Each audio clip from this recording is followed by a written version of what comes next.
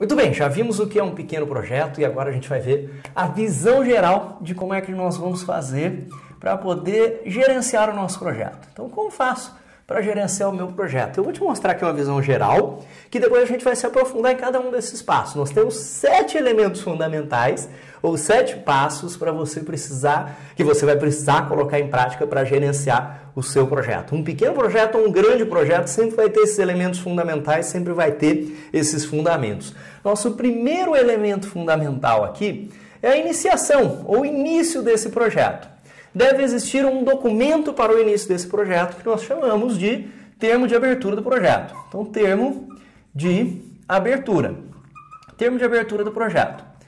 E o que ocorre aqui nesse nosso termo de abertura do projeto? O termo de abertura do projeto, ele descreve qual é a motivação para aquele projeto, ou a justificativa para aquele projeto. A gente vai falar bastante dele num vídeo somente sobre o termo de abertura, numa aula completa sobre vários exemplos de termo de abertura do projeto. Mas ele diz a motivação, por que eu estou fazendo aquele projeto? A justificativa daquele projeto, portanto. E, consequentemente, ele deve conter aqui para a gente qual é a situação atual. Então, o ESIS, que nós chamamos de situação atual, que é um problema ou uma oportunidade. Por que, que eu estou fazendo aquele projeto? Então, vou reformar a minha casa. Por quê? Porque a fachada não está bacana, porque eu estou precisando expandir um quarto a mais. Por quê?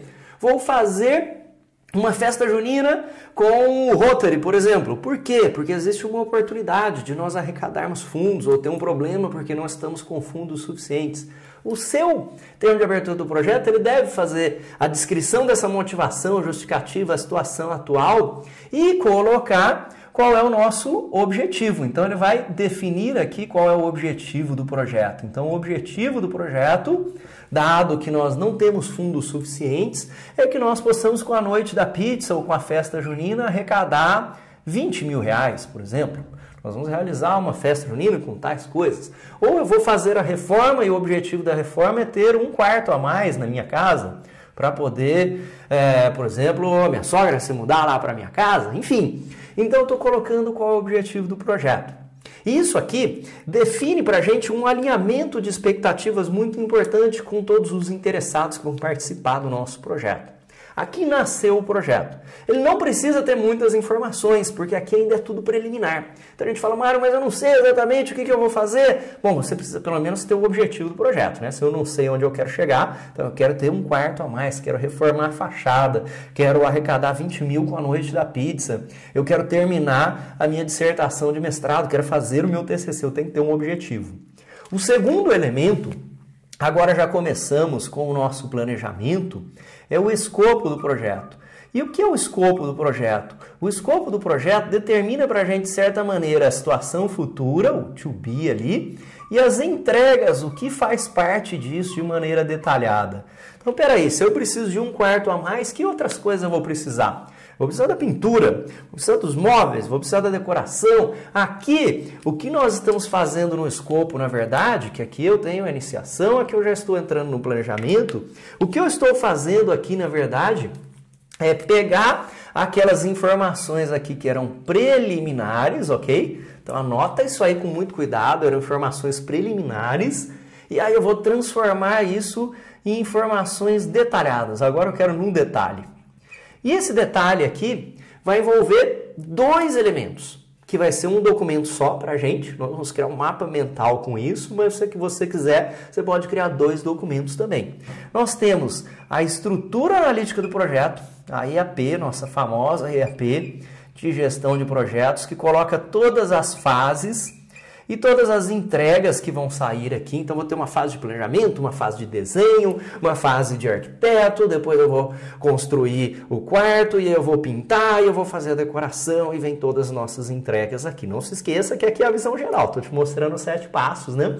Sete elementos fundamentais para a gente poder gerenciar um projeto. Você vai ter uma aula só sobre AP.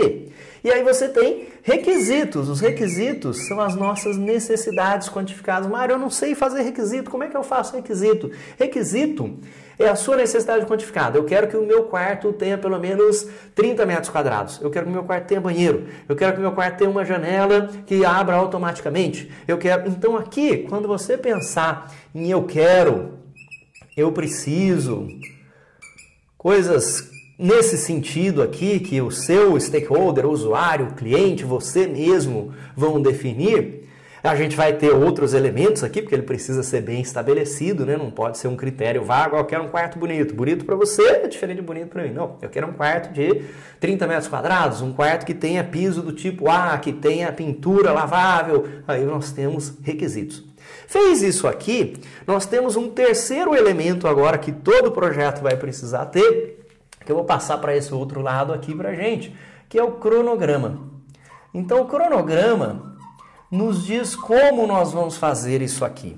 Então, o cronograma é o como, de que maneira que isso tudo vai acontecer. Ele tem o quando, porque além de ter o como, ele tem o quando, certo?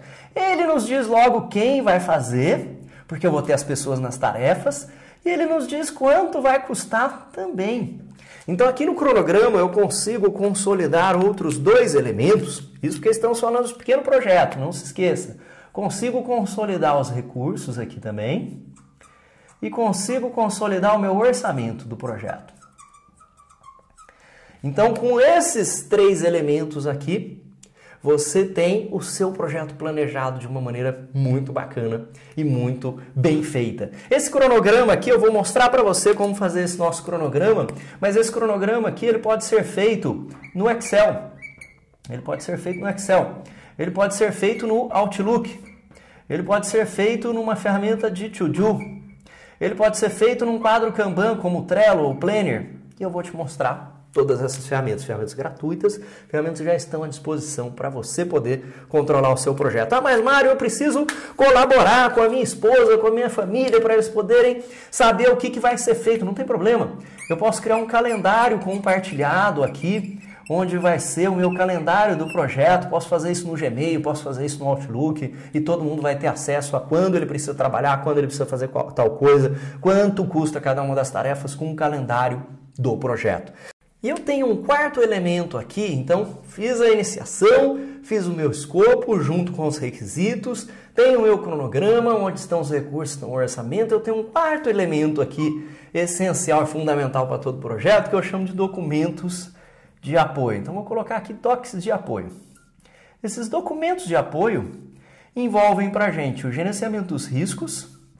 E eu vou mostrar para você uma maneira fácil de fazer esse gerenciamento de riscos. Você pode fazer também com Excel, pode fazer com Word. Você vai conseguir ter os seus riscos ligados ali ao seu calendário do Outlook, por exemplo, ou qualquer ferramenta simples que você estiver utilizando.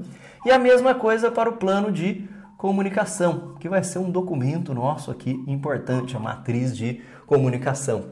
Com isso, você tem todas as coisas necessárias para um bom plano de projeto.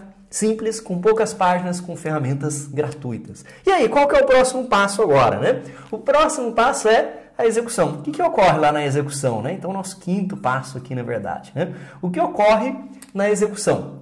Na execução, nós temos a mobilização, certo? Então, vou dar dicas aqui de como é que você faz para se organizar. Mobilização, então vou precisar dos meus recursos, eventualmente ali algumas pessoas para trabalharem comigo e vem a realização, realizar o trabalho de verdade. Como é que você faz para se organizar no dia a dia? Porque um grande desafio que eu vejo desses nossos pequenos projetos, né? então visão geral aqui de gestão dos pequenos projetos, né? Um grande desafio que eu vejo é que nos nossos pequenos projetos, não sei você, né? Mas muitas vezes a gente está trabalhando em vários pequenos projetos. Então eu tenho a reforma da minha casa, tenho o aniversário da minha filha, eu preciso fazer o relatório do fim do ano, preciso fazer a reforma, preciso planejar o evento da empresa, uma série de pequenos projetos acontecendo. E as pessoas que estão trabalhando com você também estão trabalhando nesses vários eventos. Então vou te dar dicas importantes aqui na execução de como não perder a visibilidade e a prioridade do seu projeto. Garantir que você conseguiu os recursos ali necessários, uma pessoa, duas pessoas, cinco pessoas, ou mesmo se for só você no pequeno projeto, como é que você faz para poder realmente estar engajado ali e conseguir realizar as entregas que foram planejadas aqui nas nossas etapas anteriores. Então a execução na verdade, nada mais é do que a gente tirar o plano do papel. Mas tem algumas dicas aqui de como é que você vai fazer isso de uma maneira mais efetiva. O sexto elemento que todo projeto precisa ter é o controle. E quando a gente pensa em controle, não sei o que, que vem aí à sua cabeça, mas muita gente já fica imaginando, ah, controle, então vou precisar de um monte de relatório, de status, vou precisar de software. Não. O controle aqui, ele envolve dois elementos importantes, que é o status do projeto, né, status e progresso, e a gestão da mudança que naturalmente vai ocorrer lá no seu projeto.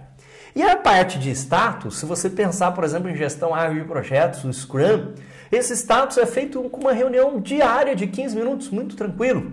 Dependendo da, do tamanho do seu projeto ou das necessidades do seu projeto, você pode até fazer uma reunião semanal para o seu projeto. O importante, que é o que eu vou te mostrar aqui quando estivermos falando de controle, é que tem algumas coisas que você precisa estar prestando atenção alguns pontos muito importantes, fundamentais para o sucesso do seu projeto, que a gente vai medir com alguns indicadores e áreas de importância para o seu projeto. Então tem, de certa maneira, aqui uma heurística, melhores práticas para você fazer o seu controle do projeto. E finalmente, todo projeto precisa ter também o encerramento.